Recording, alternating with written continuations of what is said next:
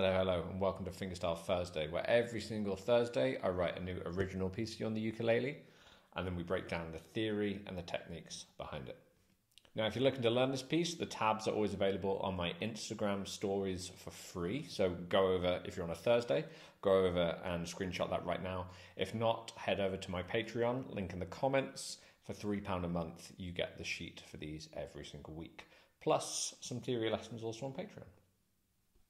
If you want to get straight into the exercise, then just use the chapters and go straight to the theory section. But if not, um, at the moment, I'm doing something called Chord Vember over on Instagram and Facebook, where I've pledged every single day in November to basically teach an alternate chord shape for common chord. So, for example, like instead of playing this C chord, we play that C chord, or instead of playing, you know, uh, instead of this G minor play this G minor.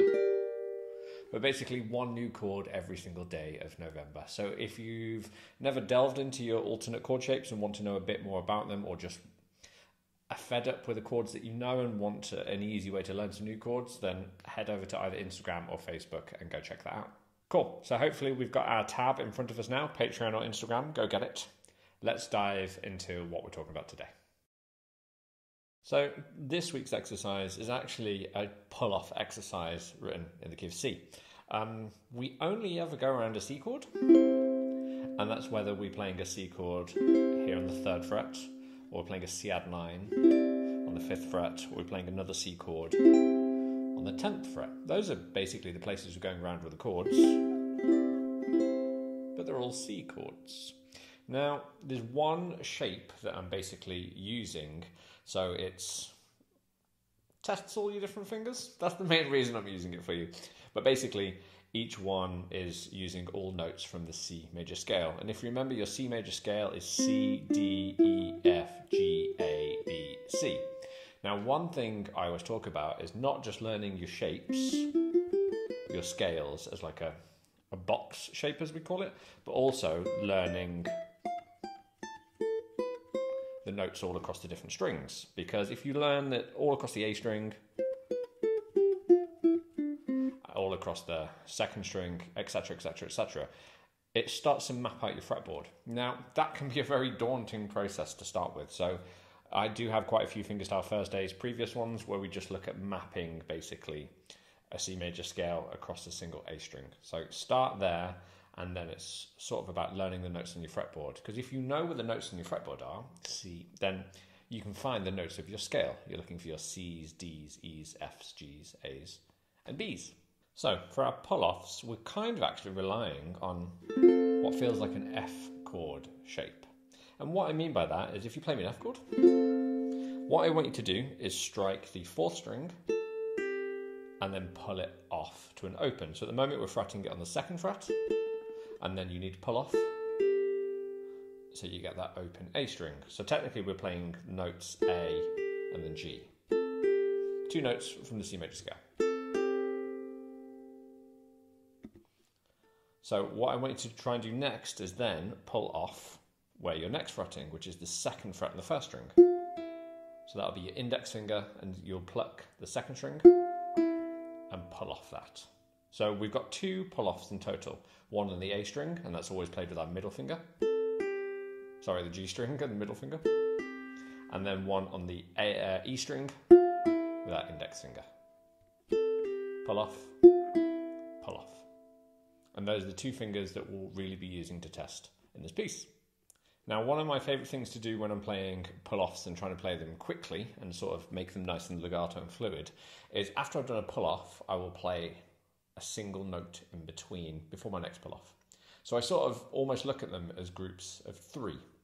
So what I mean by this is if we have this F chord shape again, if we pull off, we pluck the fourth string and then pull off, and then straight after that, I want you to pluck the open third string. So you're going to pluck, pull off, pluck, pluck, pull off, pluck. So plucking fourth string, pull off, pluck third string. One, two, three. One, two, three. Now, with our second string, I want us to have the same idea. So we're going to take it as a pattern of three, but we're going to pluck our second string where index finger is on the first fret. So you're going to pluck, pull off, and then you're going to pluck the fourth string. Nice open fourth string. One, two, three. One, two, three. Now, the reason I'm talking about these as basically thinking of it as threes so much is because the rhythm has to be very tight. They're eighth notes. One, two, three. Realize that pull off is not really quickly. We want everything to be da, da, da. Very robotic. Da, da, da. Which, if I was counting it, would be one and two. One and two. The biggest thing that we always go wrong with hammer-ons or pull offs is trying to play them too quickly. We still need the rhythm to be very strict. One and two,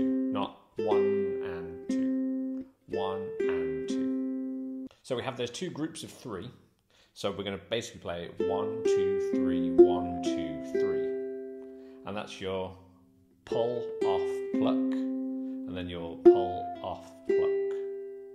Pull, off, pluck, pull, off, pluck. Now, like I said, when I'm playing pull offs, that is one of my favourite tricks to do to get them sounding really quick and really legato because that extra pluck that you put in gives you a bit more breathing room to prepare yourself for the next hammer on or pull off. Right, so once we think we're happy with our pull offs, let's go have a look how this works out in the piece. So, the very first bar of our piece is this little pull off uh, sort of exercise that I've just been talking about. So, again, pretend you're looking at an F chord, and we're going to pluck our fourth string on the second fret, pull off, then straight away pluck that third string.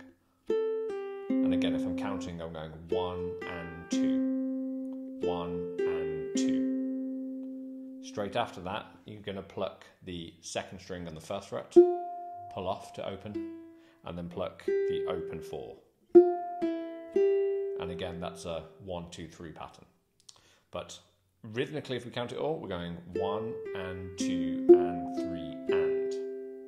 One and two and three and. And again, one and two and three and. So actually, for that pattern, we just have one more note to finish it. And that's going to be using our ring finger on the first string to play that C note. One and two and three and four.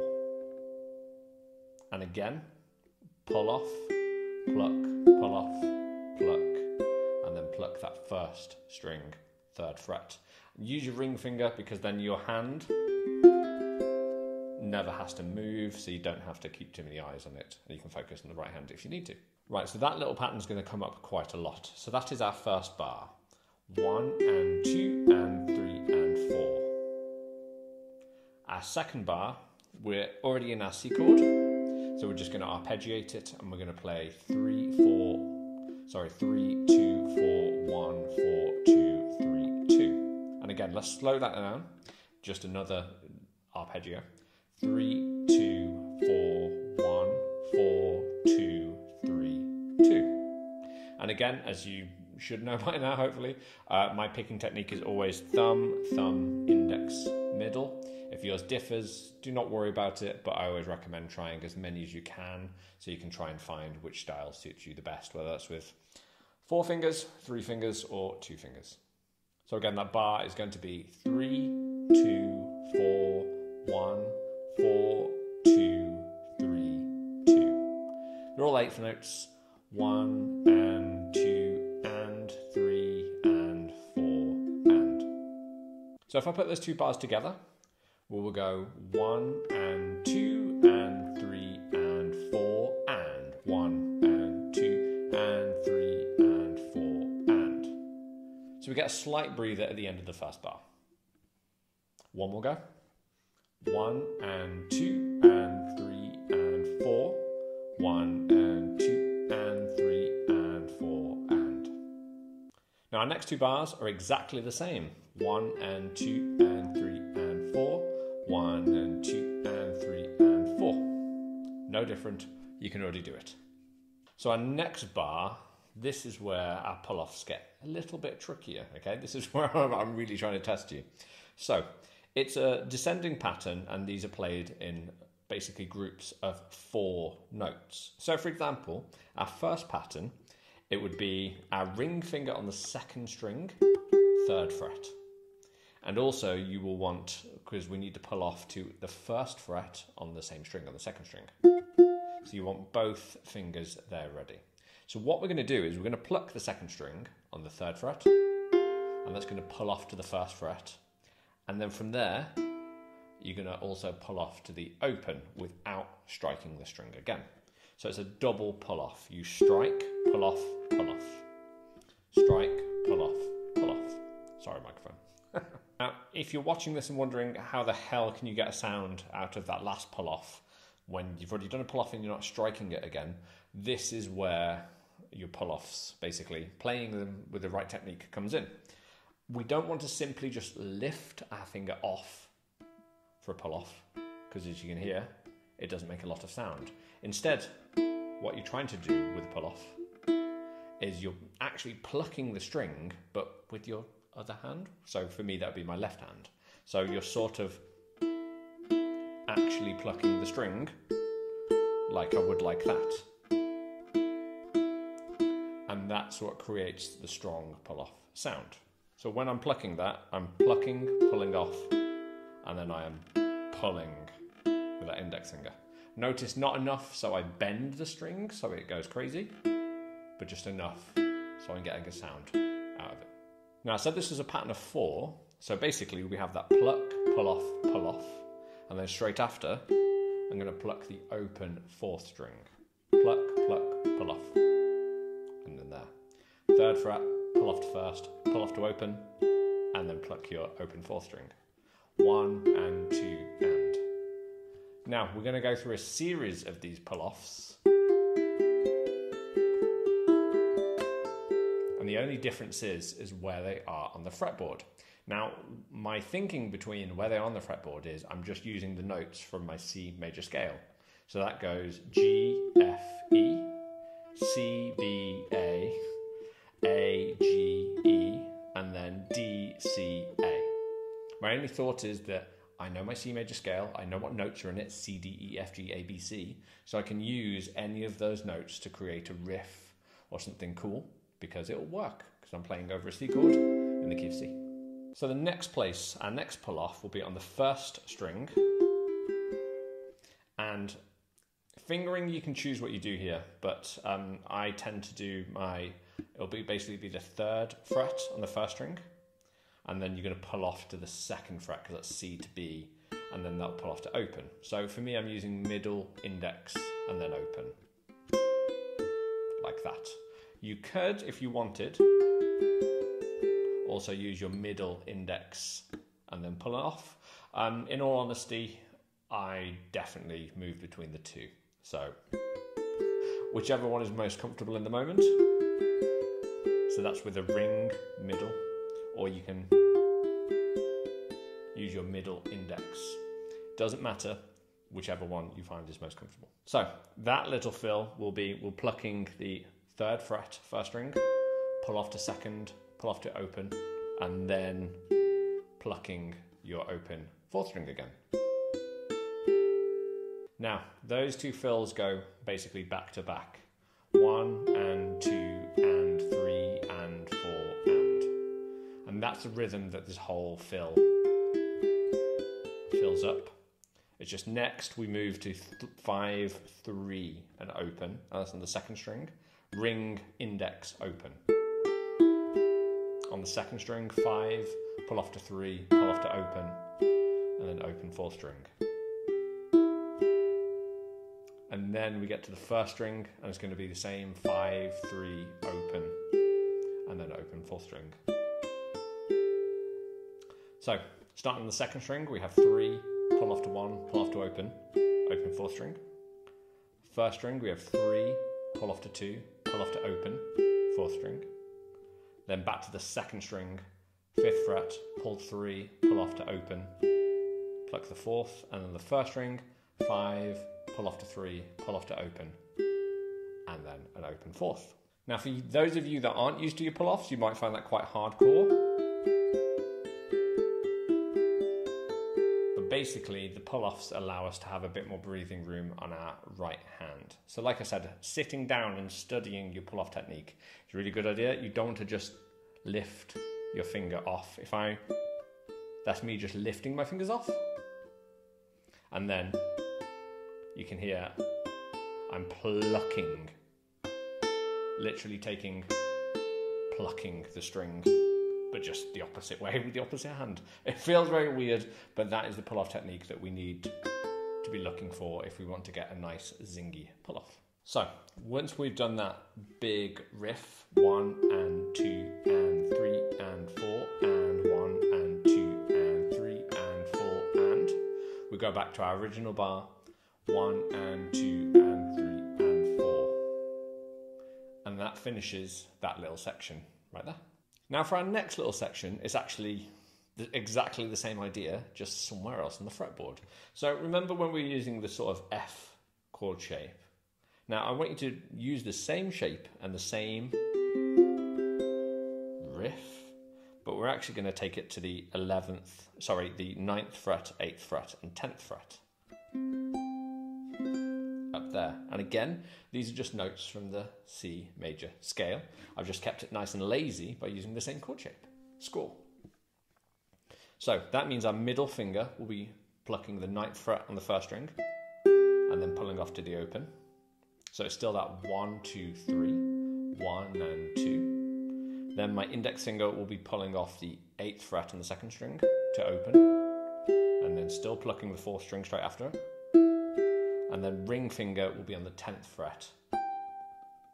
Which again, that just on the 10th fret, as a C chord. So we have 1 and 2 and 3 and 4. Exactly the same riff. Here, just different notes. So if we go back to our first couple of bars, remember what we did 1 and 2 and 3 and 4, 1 and 2 and 3 and 4 and. Right hand we are going to do exactly the same as that, but we're just up this end of the fretboard. That's the only difference. One and two and three and four. And then we're going to play that same arpeggio, keeping that ring finger on the 10th fret. Three, two, four, one, four, two, three, two. One and two and three and four and. So altogether, that those little two bars, one and two and three and Next, we're going to take the exact same idea, but this time we're going to move it to the fourth fret. So again, imagine playing an F chord, but just on the fourth fret. So that means on the first string it'll be four, pull off to zero, pluck third string. On the second string, index, third fret, pull off to zero, fourth string, and then ring finger will be on the fifth fret on the first string. One and two and Still the same shape as that guy and this guy, just different.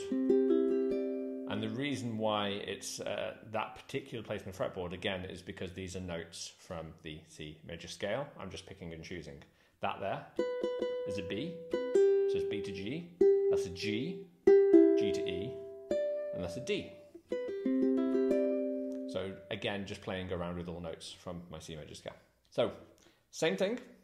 One and two and three and four. And then we're still going to arpeggiate. One and two and three and four and. So for our second section, we go one and two and three and four. One and two and three and four and one and two and three and four. One and two and three and four and. And then we get, before we had this.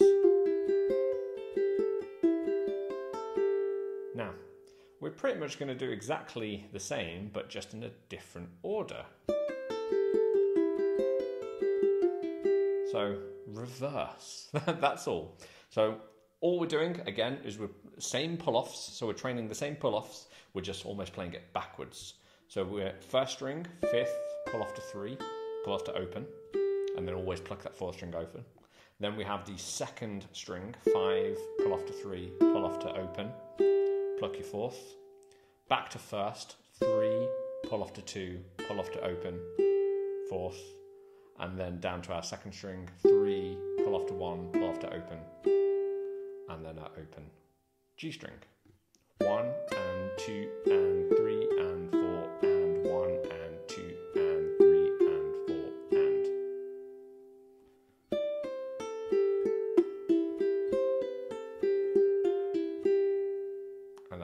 riff, which then leads us back into our original back home to our riff.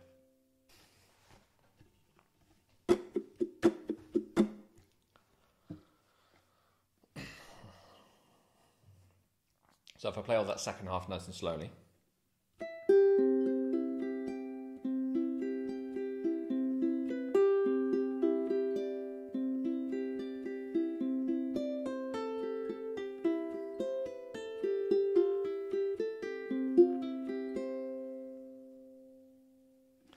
The score, we have a repeat marker next. So basically, you go back to your and start from there and play all that little part all again. Once we've done that, we just go literally back to the start of the piece.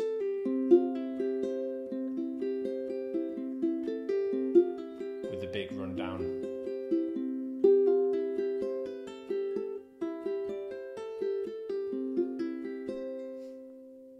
And that's it. We're all done. Thank you for joining me yet again for another Fingerstyle Fursday. Um, I hope this one has been enjoyable.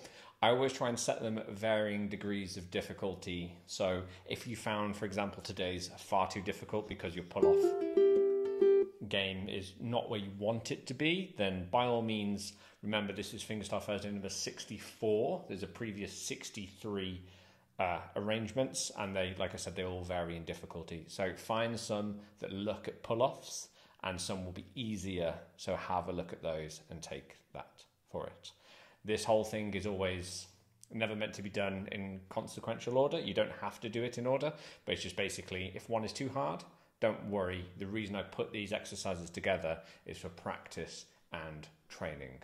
I don't expect you to be able to play it straight away today perfectly.